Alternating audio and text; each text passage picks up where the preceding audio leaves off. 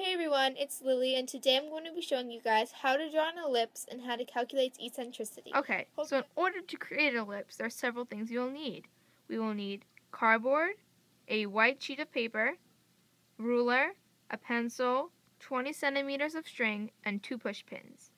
Okay, so the first part needing to create an ellipse is folding our white blank paper in half in a hot dog style. This will give us a straight line through the middle of our paper. In order to actually create an ellipse, we will need a problem. The problem that I have shown today says, draw two foci 2.5 centimeters apart.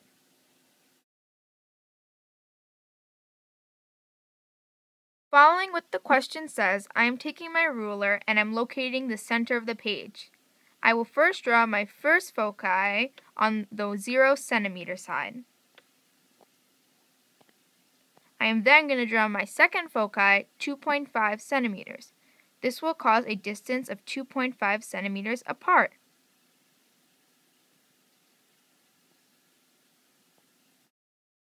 After we have drawn the two foci 2.5 centimeters apart, I am taking two push pins and I'm placing them directly on the foci. Next, I'm going to take the 20 centimeter long string and wrapping it around the push pins. Next, I'm taking my pencil, holding it as far as I can, and going around in a circular motion with the push pins. After I finish my ellipse, I'm going to label the two foci. I'm labeling one foci 1 and one foci 2, which is going to be the sun. After we have finished drawing our ellipse, we will find the eccentricity of it. The formula for eccentricity is E equals D over L.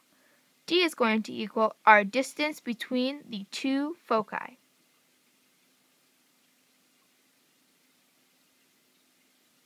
L is going to equal the length of the major axis.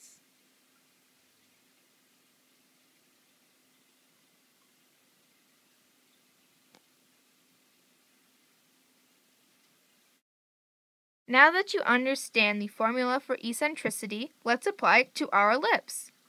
Now the distance, like I said before, is going to be between the two foci.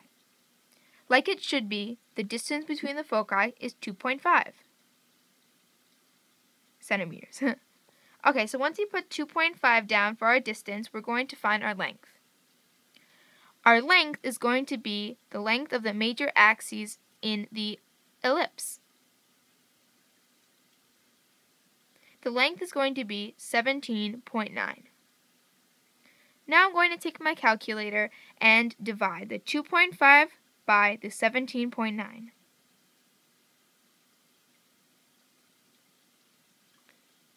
Now, look at that number.